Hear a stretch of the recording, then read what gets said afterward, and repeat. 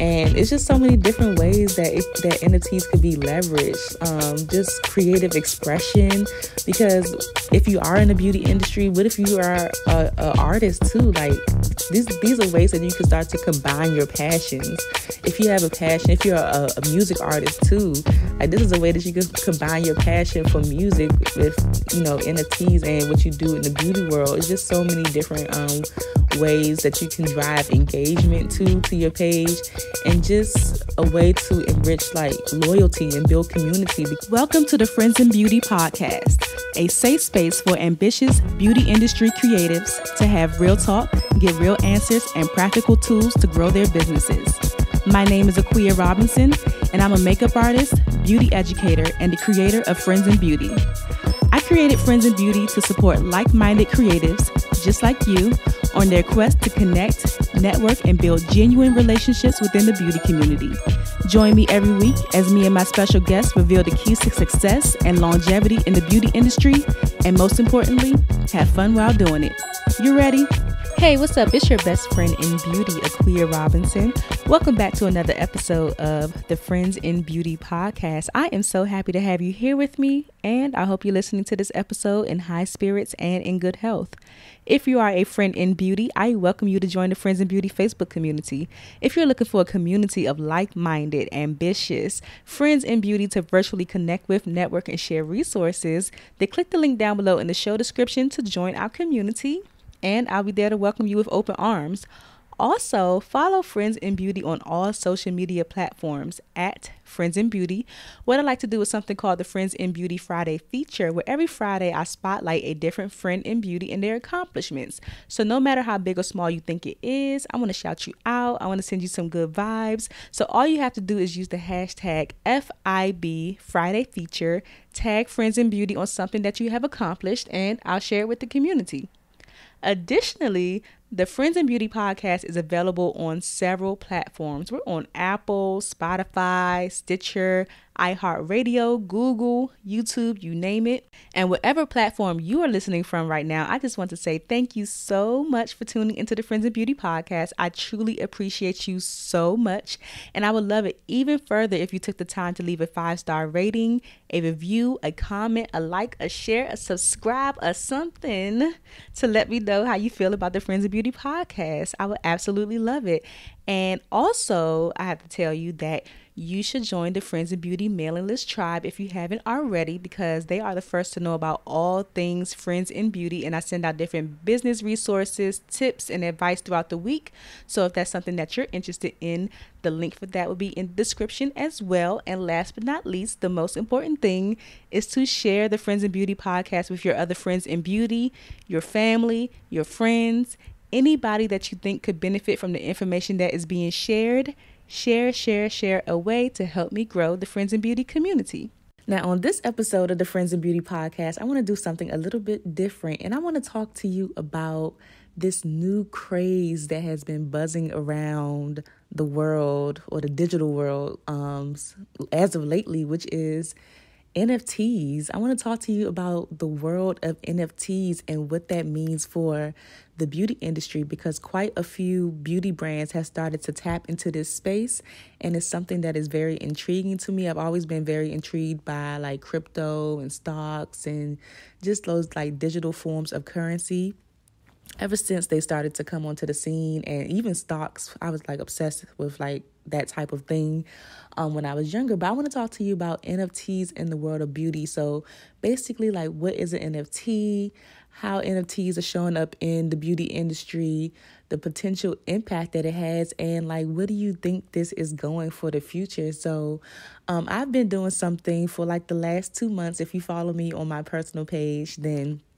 you know that every Tuesday at 10 a.m. Eastern Standard Time, me and my girl Deyana, we go live on Instagram and have NFT convos. And she said something the other day that really intrigued me and made me want to do this episode. And um, she's way more immersed into the NFT space than I am. I'm merely there as just like a, a host. And like, even when I come across like NFT, um, content and everything like that. I send it to her, I read it and everything. I I never forget the day that she called me like super excited about NFTs. I think it was the day that it actually like clicked for her and the potential that she saw in it. She was just like super excited and giving me like so many different ideas that I can use um in my business, which I can um kind of touch on in a little bit. But she was super duper excited about the vision um for how NFTs are going to change the world. So um, we've been doing those chats for about two months. We had our episode number eight the other day. That's how I know it's been two months. Um, we had our eighth episode. So we basically um, talk about like the basics of NFTs, the different collections that are coming out, how to not um, get scammed, and just all types of different things that we talk about. But when it comes to the world of beauty, um, just in case you don't know what an NFT is, an NFT stands for a non fungible token. Um, you can definitely do your own research on it, but the um, um, the easiest definition that I have found basically says that NFTs are elect NFTs are electronic tokens that represent the unique and genuine possession of a digital or real asset or concept. It acts as a digital imprint of possession, preventing stolen preventing stolen, duplicated, or modified rights. And I got that from medium.com. Let me read that again because I feel like that was a little bit choppy. So, NFTs are electronic tokens that represent the unique and genuine possession of digital or real asset or concepts. It acts as a digital imprint of possession, preventing stolen, duplicated, or modified modified rights. So basically, um, I always say that it's like the the ultimate receipt. Essentially, the original authentic authenticity, essentially like the original authenticity card. Like it's like a digital stamp on what they call the blockchain. So, um, it stamps the ownership rights like whatever nft that you buy it stamps your ownership rights on the blockchain and prevents those rights from being stolen replicated or altered so like these items or ideas or products or whatever they can be bid on or sold on the blockchain platforms like blockchains for like ethereum bitcoin solana. These are like different cryptocurrencies. It gets a little bit complicated. That's why i say you should do your own research. But those are like the um the basics of it.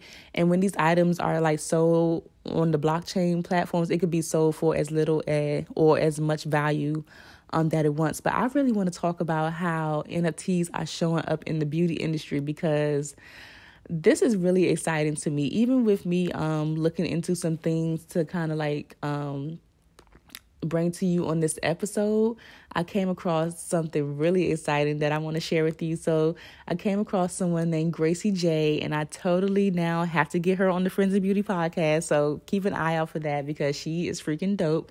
So, Gracie J is one of the first, um, from what I'm seeing, um, they're saying that she's one of the first um, people in the beauty industry to kind of jump into the digital um, space as far as NFTs.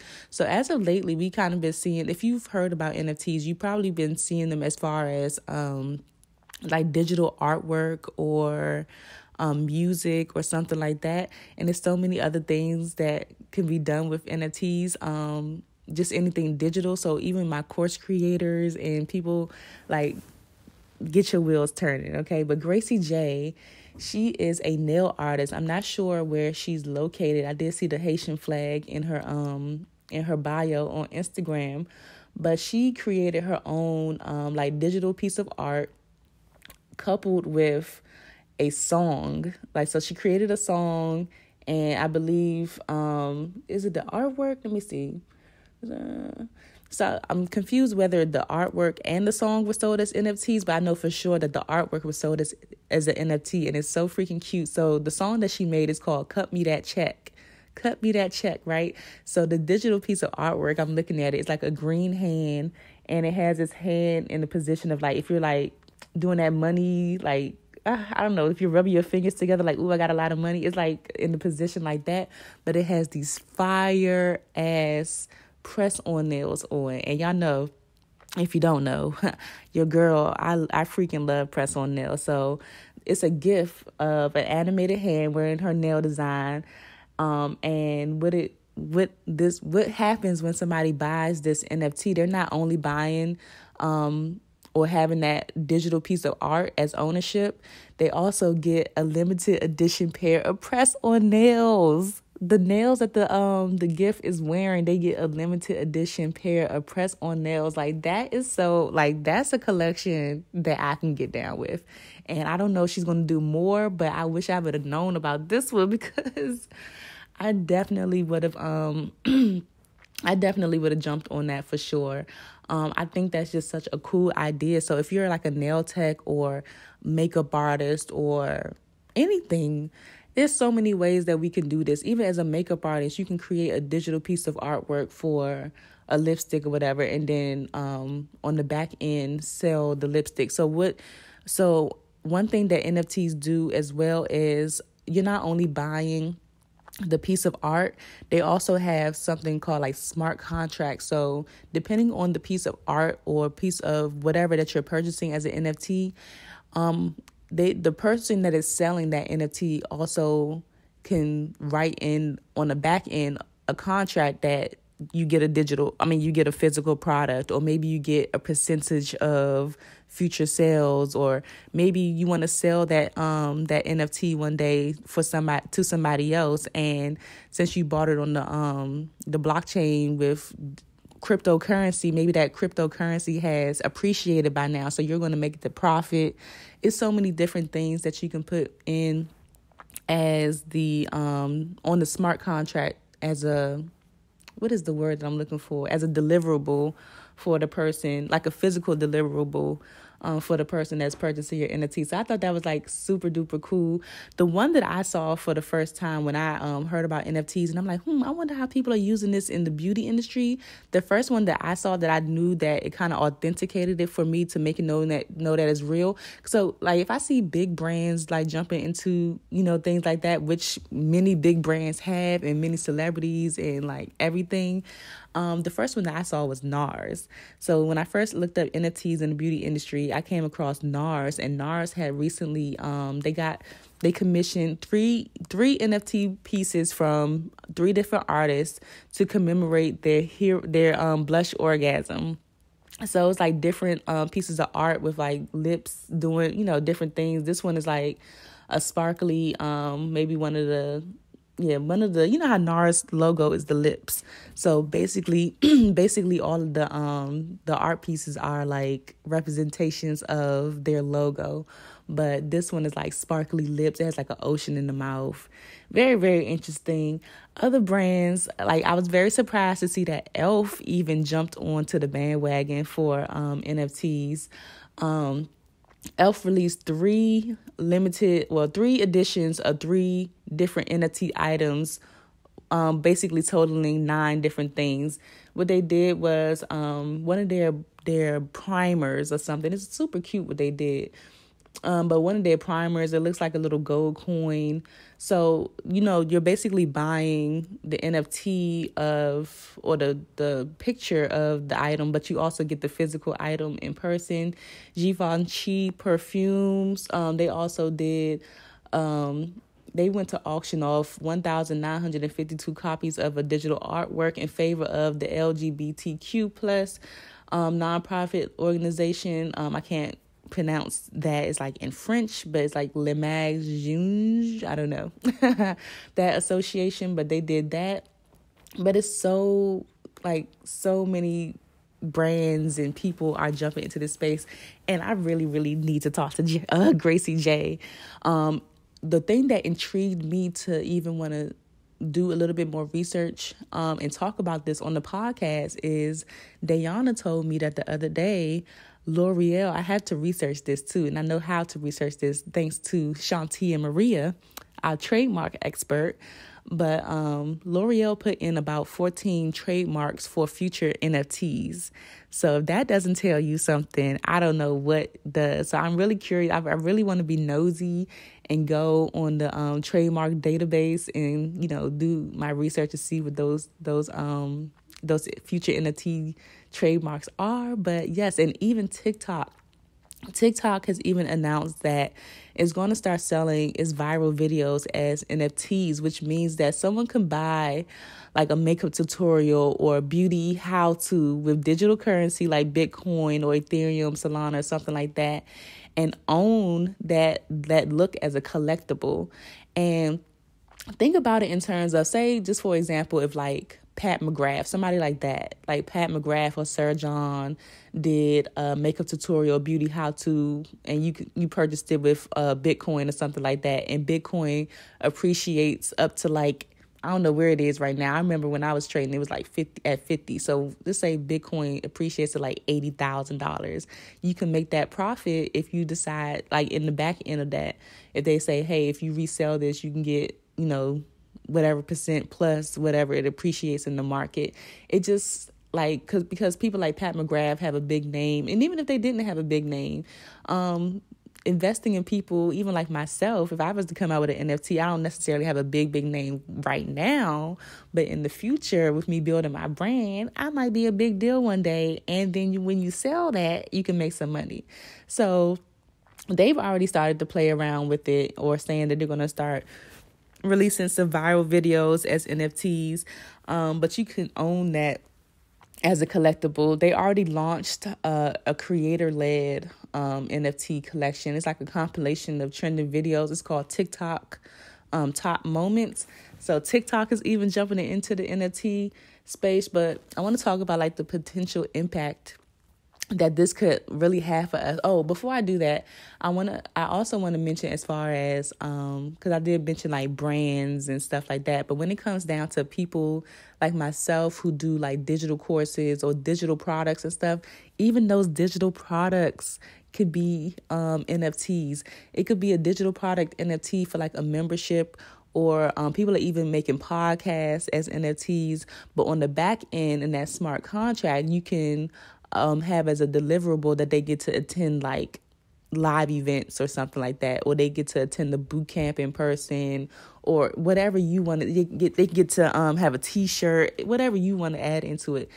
You can totally turn your course your podcast, your ebook, your whatever digital product, you can totally turn that into an NFT.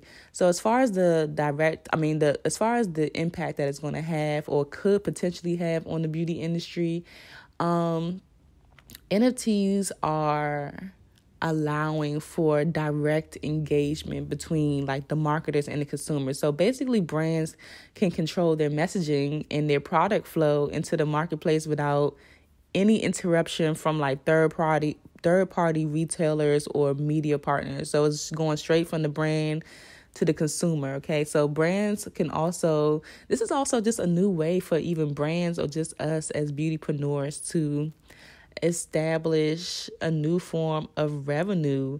Like, even just starting out, it doesn't even have to be anything crazy. This is basically like messing around with like investing in crypto and all that stuff. You're basically in using cryptocurrency to do this. So, if that's something that you're into, this could be definitely a new new stream of income because not only can you sell um, NFTs, but you could also be a collector of NFTs. I actually purchased my first NFT about a month ago, y'all. I'm super excited about that. But now I'm more, I'm even more um, curious. I can't say that word without my DC accent popping up. I'm even more curious to see or start to look into um, these brands in the beauty industry. I think that might be my my lane because I with you know talking to Deyana, she um her her her brand is more so like Mary Jane and psychedelics and stuff like that. So those are the type of collections that she's interested in. But I'm really interested to see what these beauty brands are going to come out with and like invest in it that way. And that's another way that you can make money too, because depending on whatever is in that contract, um, you could be um making money from just owning owning the collection, you know. So um, definitely new revenue streams. Um, do primary and secondary sales of the digital artwork, the physical merchandise, or just doing like live events. And it's just so many different ways that it, that NFTs could be leveraged. Um, just creative expression, because if you are in the beauty industry, what if you are a, a artist too? Like this, these are ways that you can start to combine your passions. If you have a passion, if you're a, a music artist too, like this is a way that you can combine your passion for music with you know NFTs and what you do in the beauty world. It's just so many different um, ways that you can drive engagement to to your page and just a way to enrich like loyalty and build community because a lot of the, a lot of times with these NFTs not a lot of times all of these NFTs like these big collections have a community that is centered around them. So people like Gary Vee, a lot of people know who Gary Vee is. Um, big communities centered around um, his NFT collections. And once you're a part of that community, you have access to those people as long as they're in the community. So it's not just regular people like us in these communities that are um, purchasing NFTs, but they're celebrities, they're um, thought leaders, like CEOs, all types of people in these communities. So it's it's kind of like lessening the gap between like having access to people too. Because imagine if you invest in like a Gary Vee one and he's having his thing VeeCon. So you invest in his um his NFT and he has his own conference that's coming up as a deliverable for the next several years that you can attend just from being an owner of that that uh, collection. So many people are going to come out to that conference. You just never know um, it's always it seems like it's like another networking tool. You just never know who you who you'll meet from just having access to that. So, what do you think about it? Like, I know that was a mouthful, but I'm really excited to see how this is gonna um, unfold. Like, do you think like cryptocurrency will change the way we exchange and interact with beauty?